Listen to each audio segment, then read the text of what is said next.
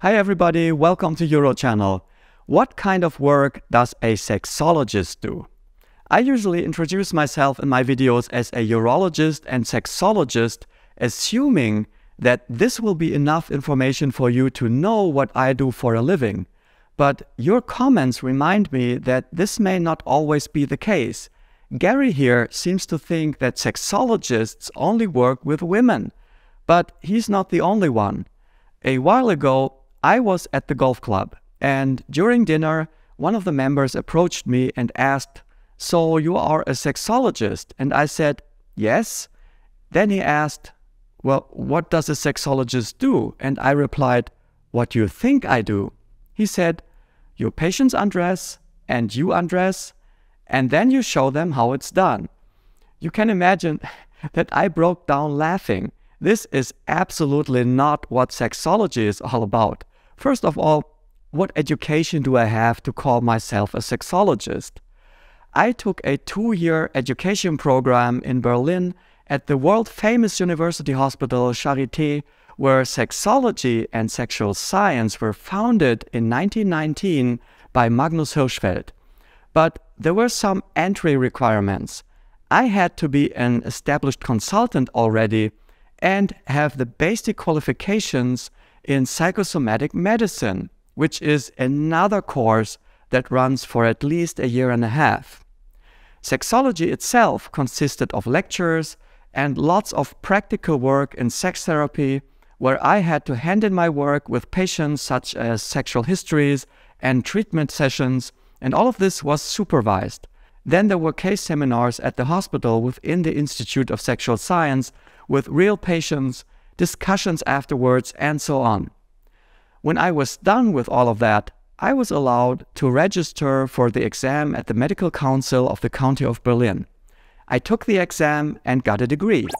Additionally, I also took classes on a more international level, did the corresponding exams, and became a fellow of the European Committee of Sexual Medicine and an EFS ESSM certified psychosexologist. All of this took about three years. Sexology operates in nowhere land between urology, psychiatry, and gynecology. Sex always has a psychological, biological, and social context. Attitudes towards sex are influenced by upbringing and education, and can have a significant impact on an individual's mindset. Diseases, medication, and the aging process itself alter biological function. And finally, sex very often involves other people, which makes it a social experience.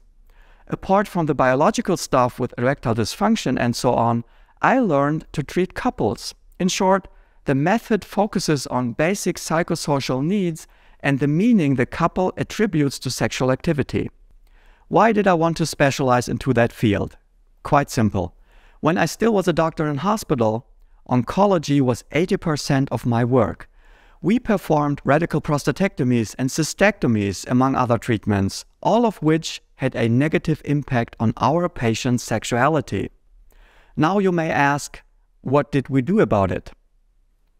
Not much medicine 20 years ago assumed that cancer survivorship was enough and that the patients should be thankful that they didn't die. This has changed a bit over the years, but still, progress in this area is slow.